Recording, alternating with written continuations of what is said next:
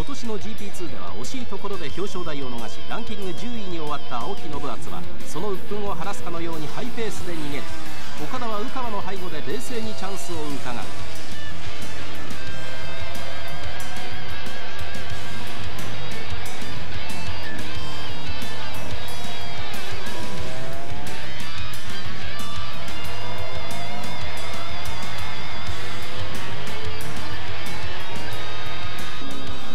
去年のこのレースでは GP ライダーの岡田に完敗した宇川今年は2年連続チャンピオンの意地を見せ岡田を何とか抑え続ける。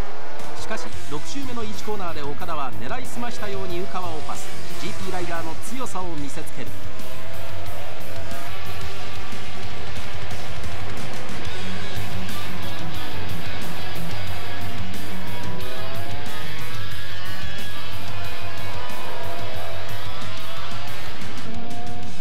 レース序盤にして独走態勢を築いた青木信厚の NSR をハンドリングトラブルが襲う。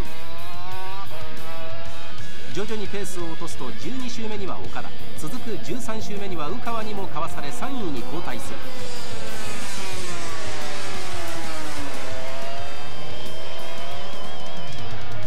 レースも中盤になると岡田は単独トップを独走。約2秒後方2位の鵜川はなんとか岡田に追いつきたい。単独3位の青木信厚はハンドリングトラブルを抱えての苦しい走行。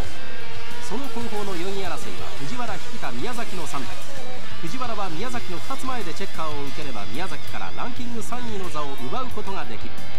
後半ペースアップした藤原は4位グループを抜け出すと21周目の1コーナーでは青木信厚を捉え3位に浮上する。